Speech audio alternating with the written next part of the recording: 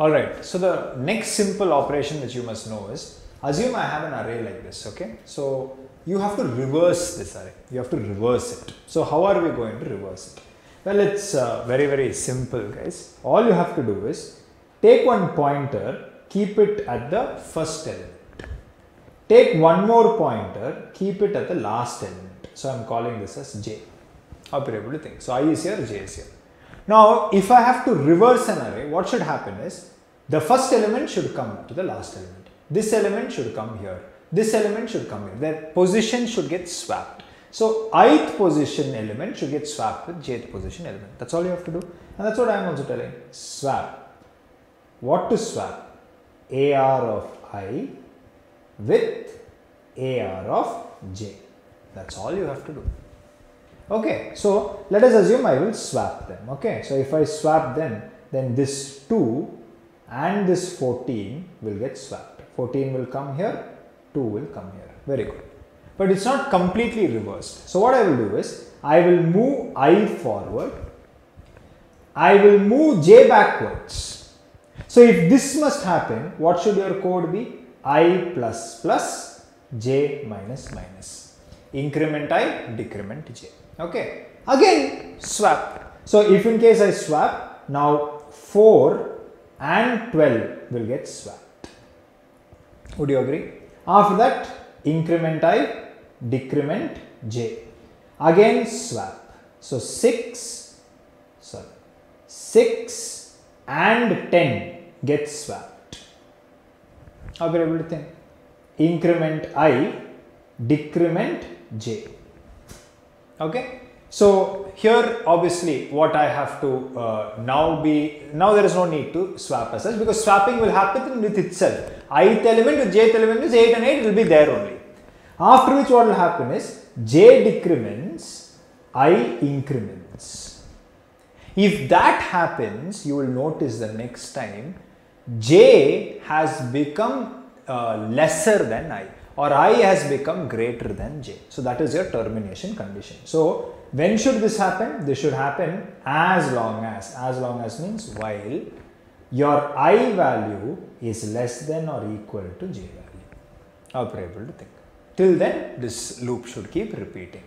This is the simple way to reverse an array. Now you can see 14, 12, 10, 8, 6, 4, 2. It has got reversed.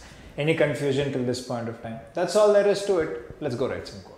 Very simple. I have a function called as reverse. It is going to reverse the uh, array for me. So what I will do is uh, just write the simple logic. So I will tell i equal to 0, int i equal to 0 and uh, j equal to the last index. So j is equal to ar dot length minus 1. That is how you get the last index. Okay. Next I will tell as long as uh, i is less than j is enough because equal to condition nothing happens right? Equal to means ing at the same position. Swapping means it will be there only. So it doesn't matter. Less than is enough. So i will come there and i will now uh, do the swapping. So for that i will create a temporary variable. And uh, in that whatever is there inside ar of i i will store it inside t. Okay. Next uh, whatever is there inside ar of uh, i into ar of i i will store whatever is there in ar of j. Next to AR of j, I will store whatever is there in temp.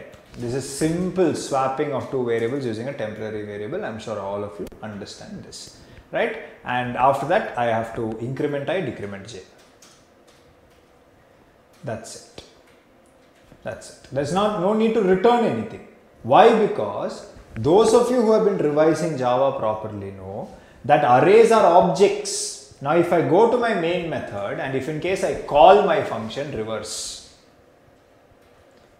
if I call my, don't leave space.